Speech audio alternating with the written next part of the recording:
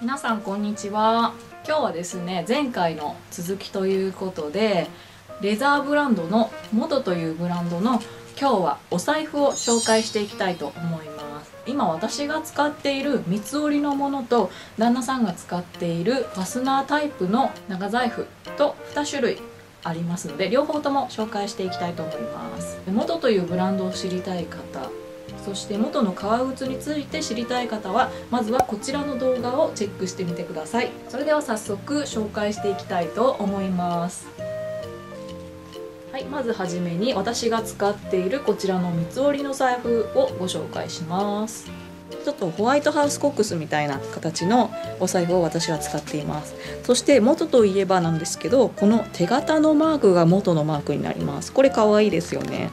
で今これは多分6年ぐらいかな使ってるんですけれどももう本当に一生ものですね中を開けてみるとはい、こんな感じになっていますね。元の財布のいいところは内側まで全部オールレザーでできているところですね。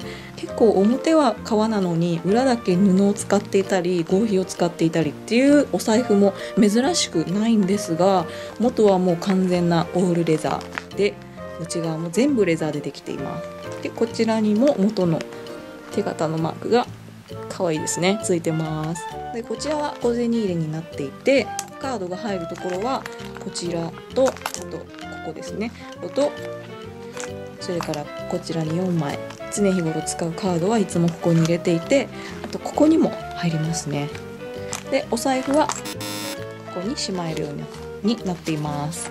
でこちらのお財布も店舗に行くと無料でメンテナンスをしてもらえます。私はこちらのスナップボタンが1回緩んでしまったのでこちらの修理をしてもらったことがあります。で元のお財布とか靴もそうなんですけど本当にカラーバリエーションもたくさんあるので是非オンラインの方でチェックしてみてください。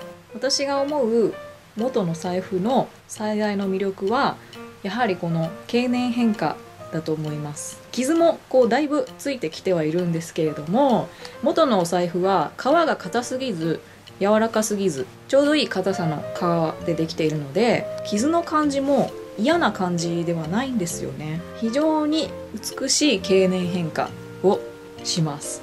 横はこんな感じですね。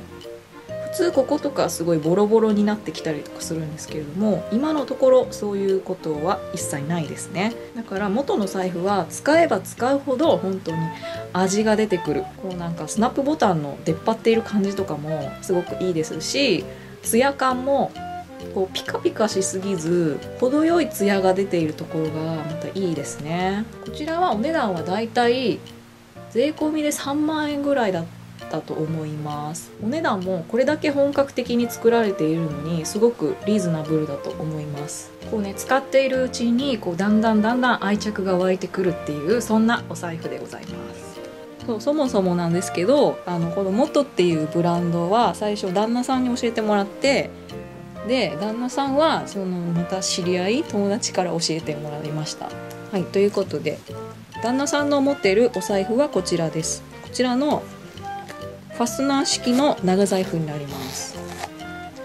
でちょっとここからは、えーと、質問形式で旦那さんに質問していこうかなと思います。じゃちょっとまず中身だけご紹介すると中はこんな感じになっていてカードポケットついてますね。それとここが小銭入れになっていてここも大きめのカードポケット。カードを1枚1枚入れるっていうよりかはここにカードをバサッと入れる感じ うなずいて。ここは小銭入れにしてるんですけどこの両サイドの大きいポケットには何を入れてますか？えっ、とカードポケットにはカードを入れててそのカードポケットと同じところにお札を入れてます。あこっち両方ともお札入れてる。ただポケットをついてるとこだけカードを入れてます。ああなるほどね。こことかにはカードを入れてる、はい、っていうことらしいです、はい、使いやすさはどうですか？えー、小銭入れが、あのー、非常に使いやすいです。あのー、見た時に、えジップを開けて見た時に、うん。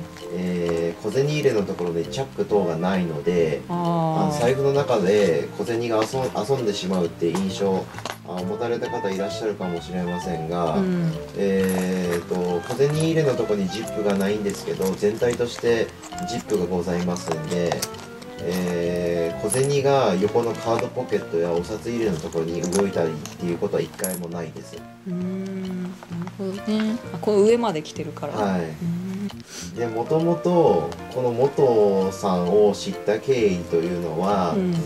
えー私の友人から、えー、と教えてもらってですねその友人はあのーアンダーカバーですとかビズビブとかですとか、うん。あインパクティスケリーとかですねあの非常におしゃれなアイテムを、えー持ってた、えー友人なんですが、うん。その友人はもともと元の代表といえるえー色のイエローですねイエローの財布を、えー黄色の財布を持ってます。うん。で、えー、と元の、えー、とイエローというのは非常に経年劣化によってあ経年変化によって色がかなりブラウンになるとうん。いうことでその経年変化を楽しめる、うん。えーブランドということで、あのー財布友人の財布を見た時に衝撃を受けて、えーとうん。私もえー元の財布を購入する、えー形になりました。うんなるほどね。